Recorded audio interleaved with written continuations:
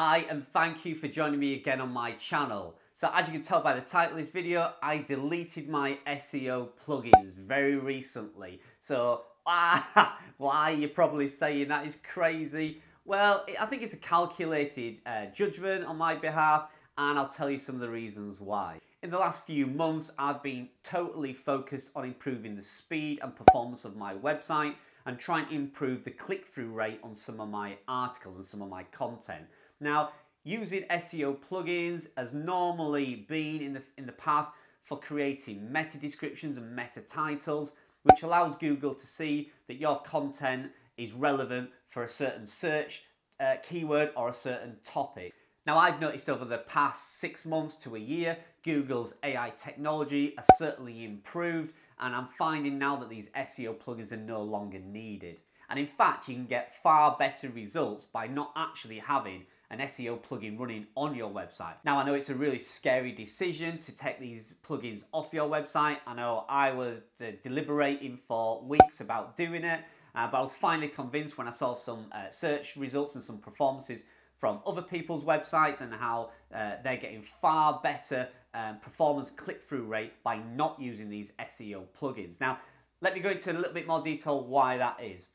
First of all, there's always going to be some pros and some cons about any piece of software or plugin that you use on your niche website. And certainly Rank Math, which is what I've been using uh, for the past year or so, has some good benefits like auto redirects. Now, if you accidentally change your URL or you make some uh, edit changes to your uh, website and you don't uh, update it, then it can cause a 404 error and which sends really bad signals to Google. Now with Rank Math, it will automatically sense this and it will redirect that traffic from your old content back over to your new content and the new URL. So it has some really good benefits and certainly that's why I swapped from using Yoast to uh, Rank Math. But there's always some negatives and some cons about using software and plugins on your websites. And these SEO plugins are no different. I don't know if you remember about a year ago, Yoast had an issue where they de-indexed a lot of images and it set a lot of websites back months and months and months on their traffic. And it was kind of done uh, a bit a bit naughty really. They didn't kind of admit it, didn't tell anybody. They knew there was an issue, but they didn't come out and say it and they just simply swept it under the rug. Now, it took a lot of time to actually get those images back re-indexed or figure out that there was a fault on their software and uh, for them to fix it and for you to recover. Now, I know this is, is sorted and it's not been an issue in a while, but certainly there's always the vulnerabilities within them software uh, and plugins like that instance. There's also the negative impact you can have on your speed, which was one of the main things that I was concerned about and I'm trying to eliminate all unnecessary plugins on my websites and SEO plugins, again, in my opinion, are no longer needed going forward in 2020 2021. But what's the main reason I decided to delete my SEO plugins? Well, it was for meta descriptions and meta titles and to try and improve my click through rate. Now, let me try and give you an example. This, this is going to be off the top of my head, so it might be quite random, but let's say you've got an article that's 21 cute and adorable pets. You might have a variety of pets within that. You might have cats, dogs, birds, fish. I don't know if fish are cute, but you know what I mean. Uh, and you would normally create your own meta title and description using Rank Math or Yoast. Right, we've all done that. You spend ages coming up with a lovely little meta description that might say something like 21 cute and adorable pets. We show you all the best pets for you to own and care for. Okay, so there's quite a generic standard meta description. Now, that's quite a broad description, right? You're just saying 21 pets, you're not saying anything specific. So let's say you're searching Google for cute cats. Well, you might be typing uh, cute cat pictures, right? And your website, your article may come up within that search results. Now, if I looked at that meta description, I saw 21 cute and adorable pets, how do I know it's got cats in? How do I know that's going to be suitable for me? Because I've created the meta description that just says it's 21 cute pets, right? Nothing specific, no targeted audience.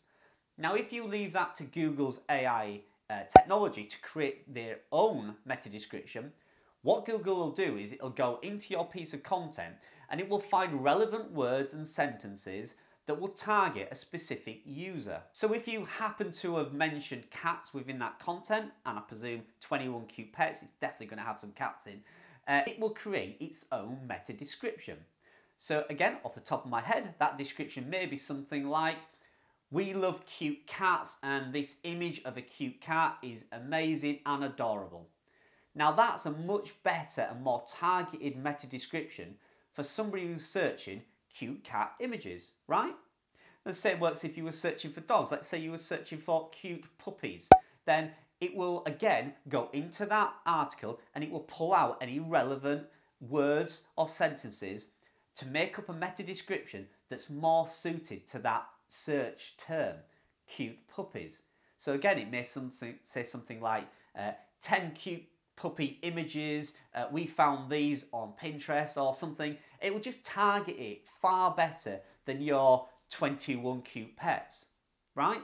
So that's going to increase your click-through rate, which is always a good thing. Now think about it, creating your own meta descriptions not only takes time, limits the amount of viewers and the amount of people that you're going to be able to target.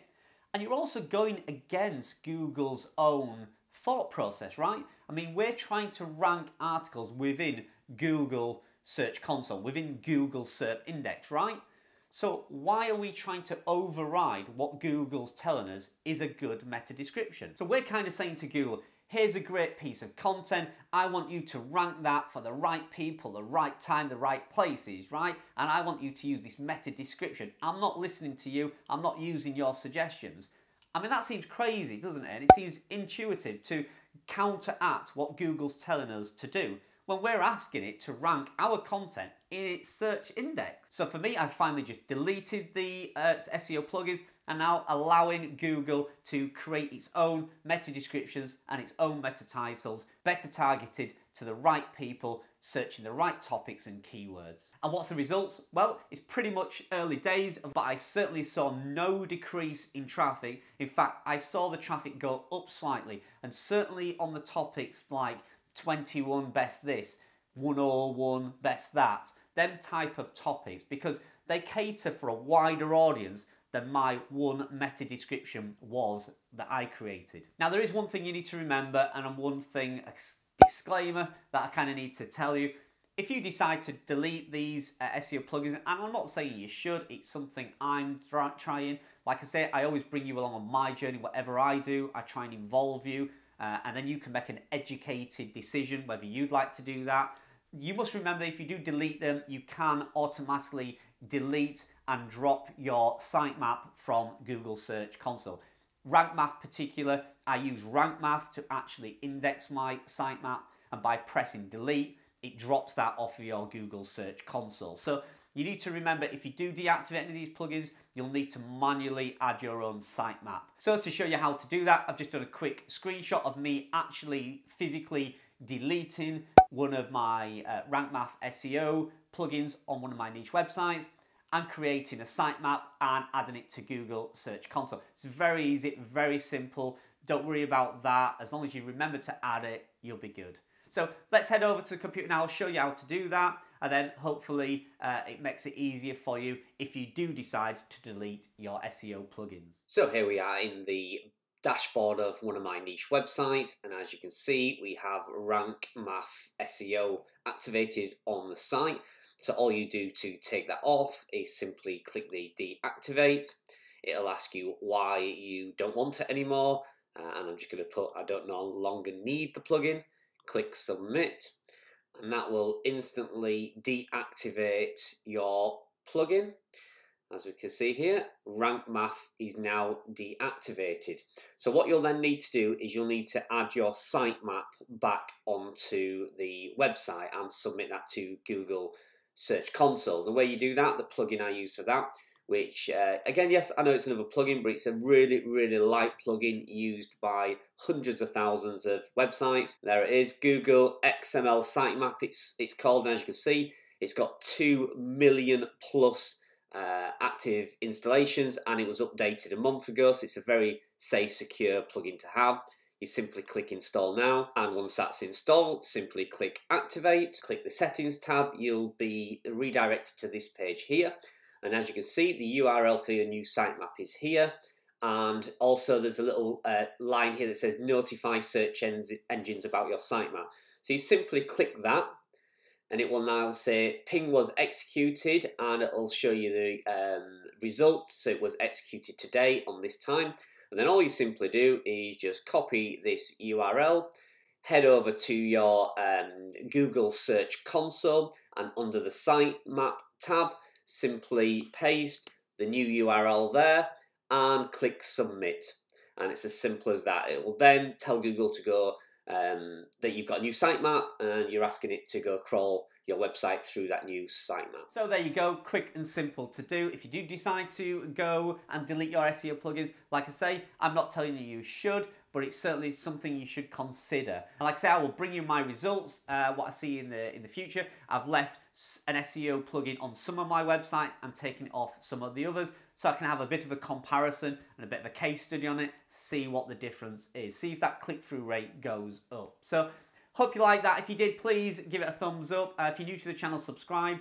I produce about two uh, videos a week and uh, hopefully some of these will help you grow your website and help you get a, a passive income or bring in more income for you and your family to enjoy and hopefully have more time to spend with your friends and loved ones. That's at the end of the day, that's why we're here and that's why I do these videos. So thanks for joining me and I'll see you in the next one.